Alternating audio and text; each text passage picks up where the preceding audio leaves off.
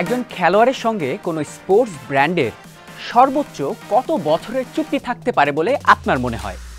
পাঁচ, দশ বা সর্বোচ্চ পনেরো বছর। কিন্তু স্পোর্টসওয়্যার জায়ান্ট নাইকির সঙ্গে সাতাশ বছরেরও দীর্ঘ সময় ধরে সম্পর্ক ছিল গলফ কিংবদন্তি টাইগার উডসের। পারস্পরিক সমঝোতায় এবার সেই চুক্তি শেষ করল দুই পক্ষ।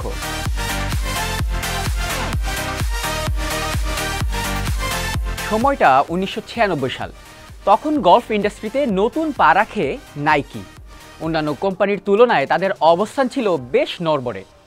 গলফ ইন্ডাস্ট্রিতে নিজেদের প্রতিষ্ঠিত করতে তখন সম্ভাবনাময়ী উঠতি তারকাদের নিজেদের দলে ভেড়ানোর চেষ্টা করে নাইকি। আর তখনই উনিশশো এর আগস্টে কলেজ গলফ ক্যারিয়ার শেষে প্রফেশনাল গলফ ক্যারিয়ারে পা রাখেন যুক্তরাষ্ট্রের মাত্র ২০ বছর বয়সী গলফার টাইগার উডস। একটু দেরি না করে সে মুহূর্তেই উডসের সঙ্গে তখনকার সময়ের গলফের সবচেয়ে আকর্ষণীয় চুক্তিটি করে ফেলে নাইকি। সে সময় চল্লিশ মিলিয়ন ডলারে পাঁচ বছরের জন্য নাইকির সঙ্গে অ্যাডভার্টাইজিং ডিল করে তরুণ উডস আর তাতে নাইকির এত বড় বিনিয়োগও বিফলে যায়নি।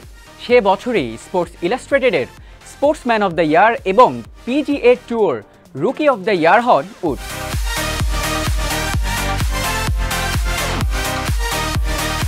টাইগার উডসকে তার ক্যারিয়ারের শুরুতেই সাইন করে পুরো গলফ ইন্ডাস্ট্রিতে রাজ করতে থাকে নাইকি। সেই চুক্তির পর প্রথম প্রেস কনফারেন্সে উডস সবাইকে নিজের জানান দিয়ে বলেছিলেন হ্যালো ওয়ার্ল্ড সেই স্লোগান ব্যবহার করেই উডসকে নিয়ে নিজেদের প্রথম অ্যাড ক্যাম্পেইন করে নাইকি। মোট কথায়, উডসের ওপর ভর করেই গলফে ব্যবসা করে যাচ্ছিল নাইকি। পাঁচ বছরের চুক্তি শেষে আবারও উডসের সঙ্গে চুক্তি করে কোম্পানিটি। এবার দশ বছরের চুক্তিতে দুইশো মিলিয়ন ডলার আয় করেন উডস। তবে এই চুক্তি অনুযায়ী অ্যাড ক্যাম্পেইন ছাড়াও নাইকির গল্ফ বলও ব্যবহার করেন উডস। এতেই সবচেয়ে বেশি লাভ হয় নাইকির। কারণ শুধুমাত্র যুক্তরাষ্ট্রেই গল্ফ বল বিক্রি করে চুক্তির দুইশো মিলিয়ন ডলারের ষাট শতাংশ অর্থই তুলে নেয় নাইকি। এছাড়া উডস যত মেজর চ্যাম্পিয়নশিপ জিততে থাকে, ততই আয় বাড়তে থাকে নাইকির। দু হাজার তেরো সালে গল্ফ মার্কেটে সাতশো বিরানব্বই মিলিয়ন ডলার বিক্রি করে সবার ওপরে ছিল নাইকি। তার অবদান অনেকটাই হয়তো উডসের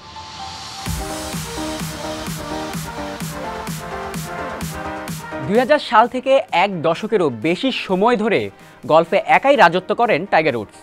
ক্যারিয়ারে এখন পর্যন্ত জিতেছেন দ্বিতীয় সর্বোচ্চ পনেরোটি মেজর গলফ চ্যাম্পিয়নশিপ। তবে দু হাজার পনেরো এর পর থেকে গলফ ইন্ডাস্ট্রিতে তেমন লাভের মুখ দেখেনি নাইকি। তাই দু হাজার ষোলো সালে ক্লাব, ব্যাগ ও বল বিক্রি বন্ধ করে দেয় নাইকি। তখন শুধুমাত্র গলফ খেলোয়াড়দের জামাকাপড় ও জুতা বানাতে থাকে কোম্পানিটি। এরপর ধীরে ধীরে গলফ ইন্ডাস্ট্রি থেকে মুখ সরিয়ে নিতে থাকে নাইকি। কারণ নাইকির ওভারঅল ব্যবসার খুবই ক্ষুদ্র অংশ জড়িয়েছিল গলফের সঙ্গে। দু হাজার ডিসেম্বরে গলফ ব্যবসায় কর্মী ছাঁটাই সহ দুই বিলিয়ন ডলার খরচ কমানোর সিদ্ধান্ত নেয় নাইকি। মূলত গলফ ব্যবসা থেকে ধীরে ধীরে নিজেদের গুটিয়ে নিতেই পারস্পরিক সমঝোতায় টাইগার উডসের সঙ্গে চুক্তি শেষ করে নাইকি।